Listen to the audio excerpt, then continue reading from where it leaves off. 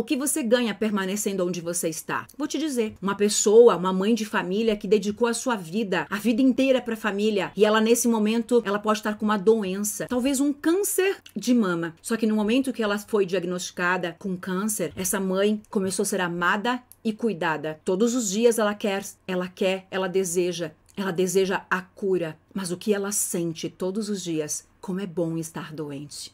Estar doente me remete a amor, a carinho, a cuidado. Eu quero me curar, mas é bom receber atenção e amor das pessoas. Bingo! Você não vai se curar, você vai morrer. Porque aquilo que você sente, o universo está programado para te dar mais do sentimento de amor que você está recebendo e para isso você tem que continuar doente. Eu não vou citar nomes, mas recentemente uma pessoa famosa morreu. Ela não era famosa. Ela se tornou famosa, blogueira, enquanto estava no hospital, com sondas, com equipamentos, com um monte de, de injeções, de enfermeiros, e todos os dias uma, uma postagem linda estampando as redes sociais. Todos os dias uma foto de blogueira numa cama de hospital com câncer letal. E todos os dias ganhando milhares de seguidores com o sentimento de como é bom ser doente, como é bom estar aqui, porque enquanto eu estou aqui doente, o mundo me aplaude, o mundo me olha, milhares de seguidores chegando e dizendo tadinha de você. E a mente simplesmente entende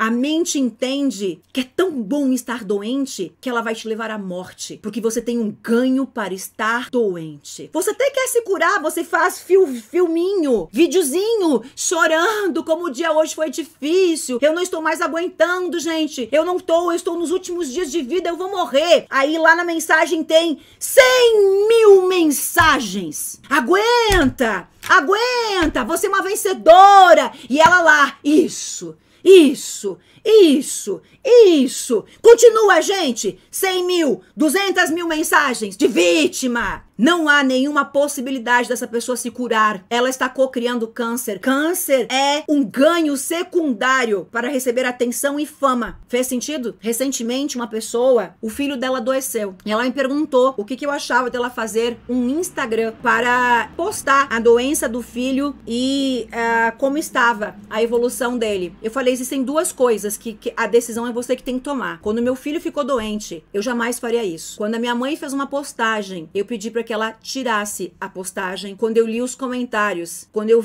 quando eu li um Gente, a história que eu contei é uma história baseada em fatos reais de milhares de pessoas. Não existe um personagem. É uma história de milhares de pessoas que eu juntei aqui uma história científica para vocês entenderem o ganho secundário que você tem de permanecer doente te leva à morte. A cura não vai acontecer quando você tem uma, um sentimento que te traz satisfação de estar doente. Quando a minha mãe fez uma postagem falando do meu filho, é, e eu vi os comentários de muitas pessoas, nossa, tadinho dele, não sei o que, não sei o que. Eu falei, não, meu filho não é tadinho, não. O meu filho é saudável, meu filho é meu filho tá curado, meu filho não precisa de pena de ninguém. Aí eu pedi pra minha mãe, que não entendeu, pedi para que ela retirasse a postagem que ela fez, porque aquilo cocriaria mais doença e não tem nada de positivo nisso. Tem energia negativa. Por mais que as pessoas estejam lá solidárias. E aí eu falei para ela o seguinte: existem duas questões. Uma é você postar sim e inspirar as pessoas com tudo aquilo que você está fazendo que é lindo, todas as orientações, todos os ganhos que você está tendo. Ok, você tem que decidir se isso aqui é positivo. E a outra, a partir do momento que você está postando que ele está doente, você está confirmando para o universo que ele é doente. E todas as mensagens que vão vir estão validando o quanto ele é doente. E você está cocriando isso. E existe um ganho pela atenção das pessoas, pelas postagens feitas, pelas pessoas que estão ali para que ele permaneça doente. A decisão é tua.